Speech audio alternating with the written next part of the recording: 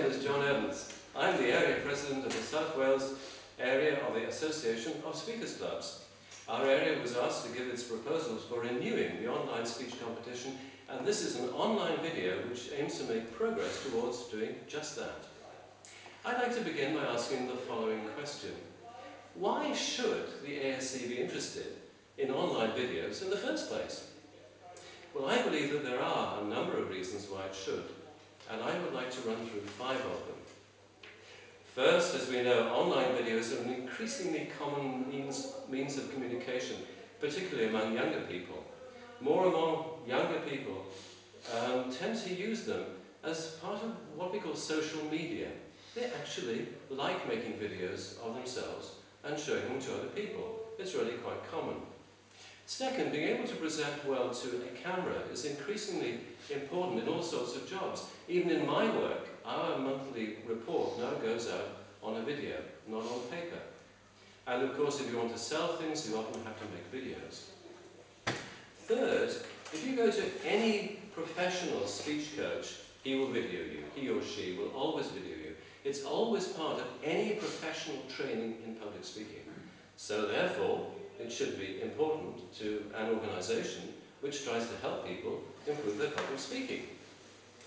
Fourthly, I'd like to look at the ASC and the way it operates.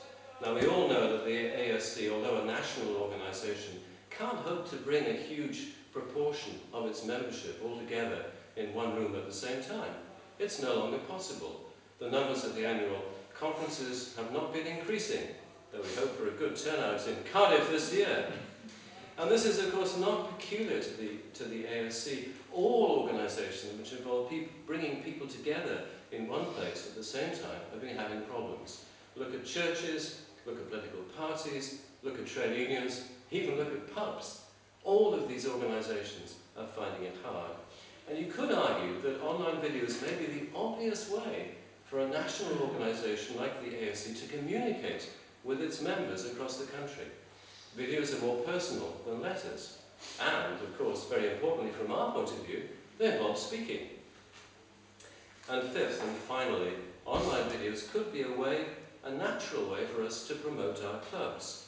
Videos of club members giving speeches could be put onto the club websites. And this would allow people to see what's going on before they take the plunge of actually coming along to a meeting and walking into the room for the first time. And so they could help to advertise the ASC.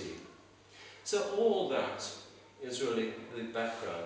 Those I see as the, the reasons, some of the reasons why the ASC should be interested in online videos.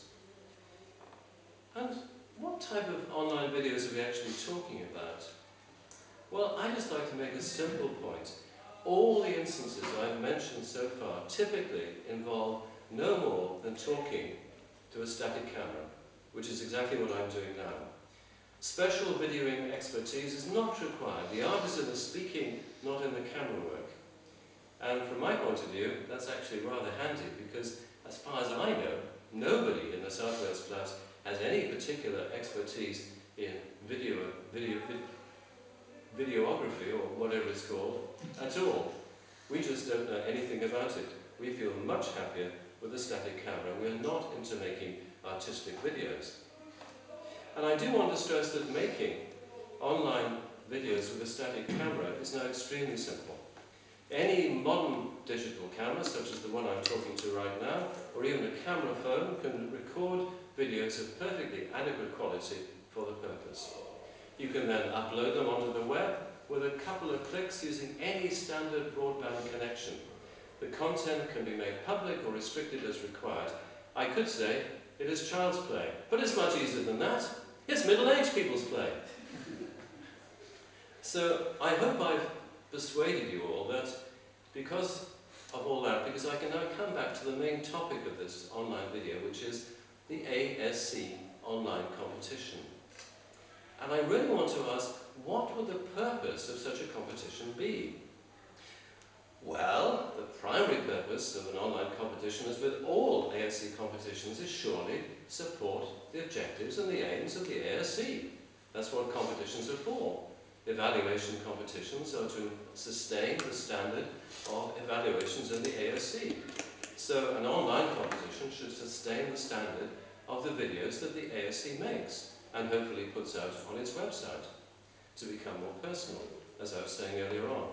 And the best videos, including competition winners, should be able to demonstrate something of the standard of speaking to which the ASC aspires. So, what about the rules then for a renewed competition? Because competitions always have to have rules. Well, I suggest that renewed rules begin by explaining very briefly how the competition fits into the overall objectives of the ASC. They would go on to explain that, in order to achieve these objectives, speeches should normally be delivered to a static camera in a club setting. There would be no penalty for a moving camera, but no special brownie points either. Basic editing would be allowed to, to permit a restart during the speech. There would be clear instructions about how to upload the videos into cyberspace, explained in detail by means of a video presentation on the ASC website. And the rules would end by explaining the criteria, which would be similar to those for the national speech competition, with a particular stress on communication skills using this particular medium.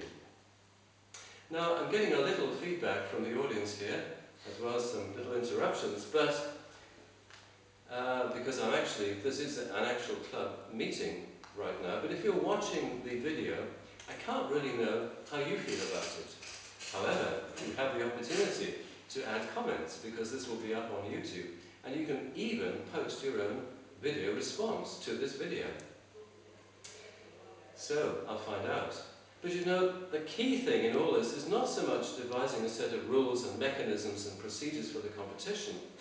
It's, it's making such a competition take off. It's managing it so that it really works. And that, I think, is really the key to it. I think it'll only work well if the ASC as an organisation takes videoing seriously, as I believe it should as I believe it should. I think it should make videoing a way, an important part of the way that it communicates. So, my final question. Are we going to step forward into the brave new electronic world and do just that? And if we do, how are we going to promote the competition? That could be the subject for the next video.